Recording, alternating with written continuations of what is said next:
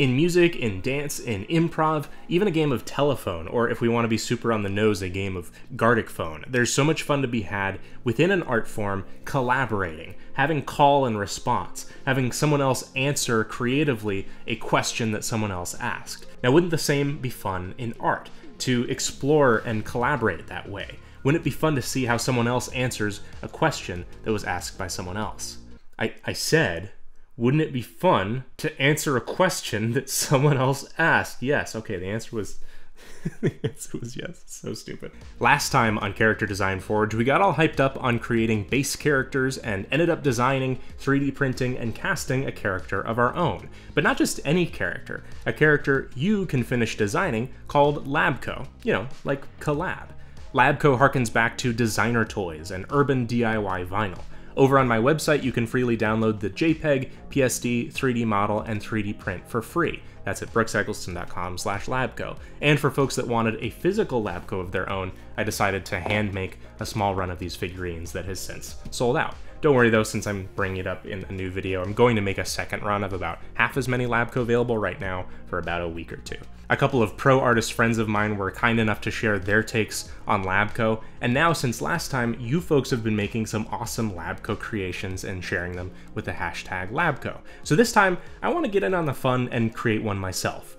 But first, I kind of have to start completely over? Has anyone that ever said, like, oh, this will be quick when it comes to a creative project ever been right? I- I'm not complaining, I just. I was definitely wrong, especially this time. So the two-part mold that I made was good, but in order to start sending these to people, I wanted to improve some things like vents for the tiny fingers. This time I'm going to use Lego, which would have been really on theme last time. That way I'm going to make a single part mold that I split down the middle. I have multiple methods and reasons to my madness for all this. I didn't want the top of my mold to be covered in Lego studs once it was flipped over, but wasn't really sure how to make that work until I remembered that the purple plates from my unbuilt Wiggler's Poison Swamp would be perfect. Will this mold turn out okay? And will I be able to build Wiggler's Poison Swamp when this is all said and done? Using a soldering iron and some beeswax, I soft welded a newly resurfaced Labko and some vents to the plate and built a Lego wall up to the top for my silicone mold. At this point, it's very important that I tell you not to drink the blue raspberry, no matter how good it looks. So the mold will be exactly the dimension of these Lego bricks, so then I can reuse them later to reinforce the mold. Once that cured and those Lego bricks were cleaned, I split the mold with a knife and rebuilt a frame that kept the mold squeezed together. The casts from this new mold have almost no flashing or parting lines, and there's just a little bit of vent to cut away from the arms. So this is looking great, just make sure to thoroughly mix your liquid plastic unless you want a horrific half-formed abomination like this. Bro. Now, I'd love to customize a Labko myself, but I just, I, I don't, I don't know, characters, I don't have any, I don't have any, I don't have any character designs to translate into Labkoese, but Good thing this is a character design channel though, right? So why, why don't we why don't we come up with a new one? This is a character of mine called Zonette, and she's this longtime warden looking after the creatures that live in a particular forest. And at one point in her design, we bid adieu to this headmaster cheetah version of her, hoping that some of those ideas could be used on a new character in the future. Fortunately for us, Zonette has recently taken on an apprentice, a rookie to this whole game warden game. The fun of designing this character is looking to include some of the same mysterious elements, the mask and serene and natural mood of Zonette, but juxtaposed with someone who's a rookie. He's inexperienced. To me, the high pants and the tie on his cowl provide those indicators pretty well, all the while designing this character, I could imagine their dynamic back and forth, and obviously the growth that he would have to experience learning, but also the growth that the reclusive Zonette would have to go through to properly train someone else. I went through a bit of a struggle really wanting to give him both the wide brimmed hat and an umbrella as his primary tool, but having two objects with large circumferences really limited what was possible when posing this character, and it just ended up being redundant. Instead, he has a variation on the throwing sticks used by a lot of early cultures from around the world, and I think there's a hidden functionality to them too. I'm kind of happy with how the mask is clearly skull inspired, yet those cheetah markings really throw off the visual identity a bit to make it something else. The final illustration with Kusa is one of my new favorite pieces I've done, and it's time to turn him into a Labko. a Kusa Labko. Just syllables, no meaning to anyone really. We're taking a character with long legs and a small head and giving them tiny legs and a huge head. If you've ever been in a situation like this where you have to repurpose a character, remember that shapes can be pretty forgiving, so it's all about proportions. We can start Kusa's pants super high up on the figure, and we're most of the way there.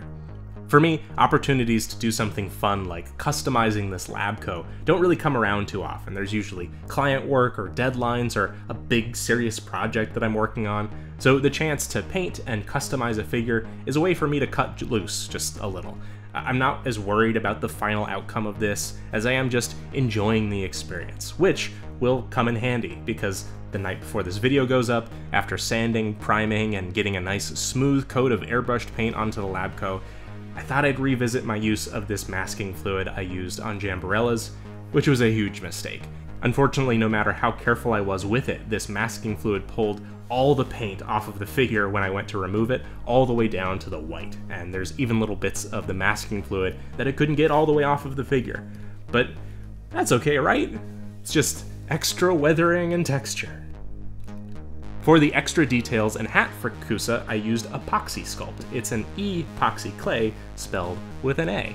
Once you mix this two-part clay up, you have a short amount of time to sculpt whatever you'd like before it hardens. This is nice because you don't have to oven bake something, especially when you're adding it on to something plastic. After figuring out the size of the hat brim, I repurposed the iced coffee cup top of Old Blue Raspberry and added epoxy clay to the outside of some foil. Once that dried, I sanded, and I sanded, and I sanded to get as smooth a surface as I could, and topped it off with the admittedly goofy epoxy clay leaves. A little PVA glue on the base, and we can successfully flock with some greenery. One more new thing that I tried for this video, in order to send out the Labkos that some of you lovely folks ordered, I wanted to try something similarly handmade for the packaging. So I tried my hand at rubber stamp making, which I think turned out pretty good. It definitely has that like sort of rustic handmade look to it, chunky little bits here and there, which I, I like. It's, it's a good effect.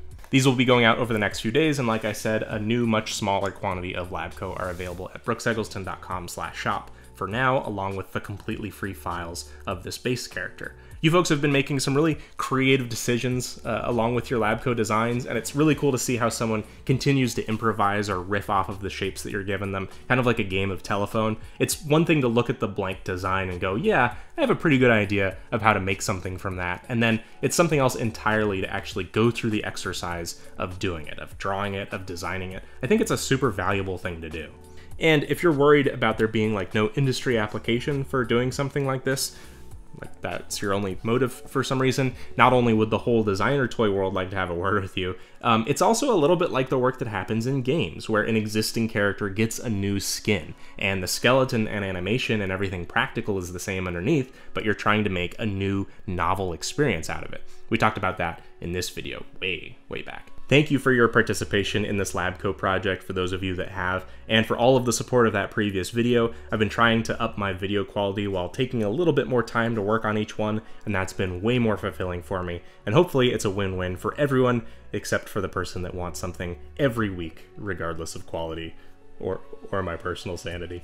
I hope you're having a lovely summer. I have some very exciting things for you coming up, especially if you missed out or weren't really feeling up to the physical lab Labko, or we're hoping for something a little more familiar from me, don't worry, I can't soften the news much longer. There's something incredibly exciting coming soon that will leave you in stitches. It it probably won't make you laugh, just the, the wordplay here is uh, it's, it's pretty limiting. You can get this Kusa foil trading card and a Glangor hard enamel pin in Biko's backpack until the end of July, which is like the end of this weekend. That's at patreon.com slash bageldenizen. My course Learn Character Design can be found at learncharacterdesign.com, and I'm at bageldenizen everywhere else on the internet. Thank you for watching, and have fun creating.